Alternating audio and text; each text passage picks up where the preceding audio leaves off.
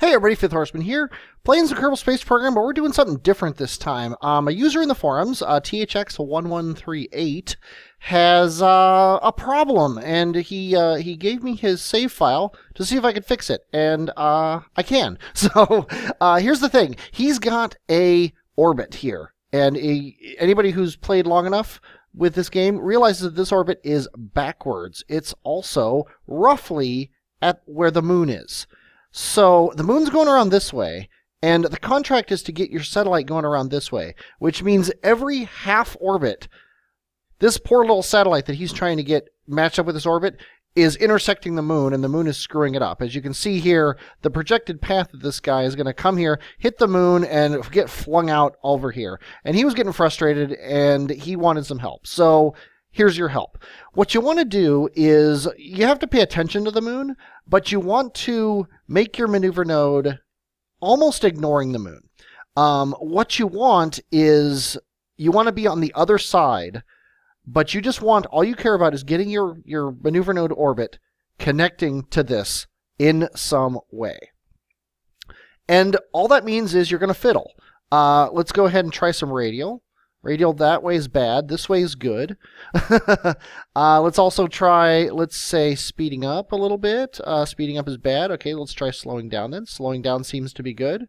Uh, that actually that actually removed our moon encounter, but you know what? I, I actually want to keep the moon encounter so that I know where it is. Now, what I'm doing here, I'm actually going to close the engineer because we don't really need it. It's just getting in the way.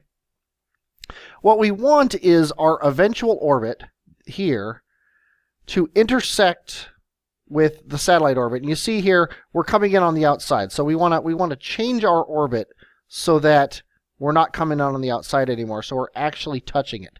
And that's all I care about. I don't care about if it's if it's pretty. I don't care about if it's if it's like at the ascending node or the descending node. And you can drop a maneuver node here and then and then look at it from different angles to see if it's close. And that's actually pretty close. We're a little bit outside still, but it's still pretty close. Um, maybe if we do a little bit of normal burn here. Normal doesn't seem to be doing it. This down normal, oh, this is looking pretty good. Yeah, there we go. I'm going to drop a maneuver node here.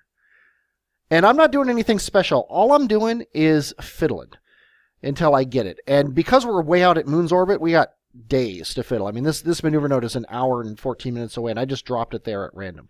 Uh, but this looks pretty good. If we can if we can hit this first maneuver node, and the reason I'm dropping this maneuver node is it gives me a point of reference to look, just to kind of compare it as I look around on, on all the ways. And the maneuver node stays close to this satellite's orbit, no matter which direction I look at it. Here it's a little bit far away, but that's not a big deal. So we're going to go with this burn here. This burn is a mere 54.7 meters per second. Um, and if you look at the satellite he gave us, or the satellite he set up himself, it's kind of crazy. It's got a lot of stuff going on, but it's an ion satellite, uh, which would scare me, most people. It scared me the first time I saw it, but actually, um, it, it's not that bad. It, it's got a uh, thrust to weight of about 0.38, which is not bad at all, and it, it, it can do 54 meters per second in probably less than a minute.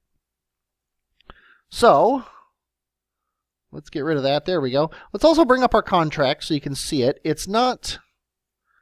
It's not this one. Actually, it is this one. Uh, no, because this one has a materials bay. It is this one here. We've got a, a new unmanned satellite. We've had stability for 10 seconds, which is fine, I guess. uh, but the main thing, you've got a lot of contracts here. You're a busy man. Uh, the main thing we want is the designated equatorial orbit around Kerbin uh, within reasonable deviation. So all we need to do is go to this maneuver node, and with the help of Kerbal Alarm Clock, it shouldn't be too hard. And I don't know how long this alarm's or how long this burn's going to be, so I'm going to go down to about a minute, and I'm going to do a quick test burn by hitting Z and then X. 17 seconds. That's not bad at all. We'll go down to about 8 seconds here. Hit Z again. You know, keep us aimed roughly at the maneuver node here. Watch as our, as our orbit gets closer and closer to what we said it would be. And then hit the X key roughly when we're there. That looks pretty good. I was I was looking at the orbit more than where the maneuver node was on the thing. So now if we kill this, now we can drop another maneuver node here, and then compare it again like we did we did the last time. That actually looks really good. All the all the angles we look at this thing, the maneuver node is staying where roughly where it's a little bit off here, but that's not a big deal. It's it's close enough that we can be happy with it. Now, while we're dropping this maneuver node, we might as well use it to fix our orbit. Now we're going way far north and south, so we need to we need to burn south so that our so that our orbit is following this line. Now you notice we've got another moon encounter. Ignore it. All we care about is this part of the orbit here. So we need to radial inward a little bit. We're bringing this this here over this way. And oh, we did a little bit too far. But we need to go maybe a little bit prograde, or sorry, a little bit retrograde. I'm actually going to bring this down so we can see everything here. We're still a little bit, we need a little bit more, maybe prograde. Need a little bit more of the radial. See, that's too much because we're coming way out here. So we're going to go retrograde. We're going to go back to the radial this way. And there you go. Our arc is following this arc very closely. And the north and south is pretty much nailed. And this maneuver node is 91 meters per second, which is really nothing in the whole vast scheme of things. But we also have a moon encounter. So let's go ahead and... Mun is out here somewhere. Oh, there it is. There's that planetoid that's given us so much trouble. So we pass into his sphere of influence. And then we leave his sphere of influence. And now it's all getting to that maneuver node. So I'm going to uh, I'm going to do this. Notice the, the, the amount changed a little bit, but not it's not a big deal. All we need to do is go two hours ahead in the time. And then do this burn that the game is telling me is going to be about a minute long. Oh, 27 seconds long. Okay, the game lied. Let's go down to about that far here. Now we'll hit Z.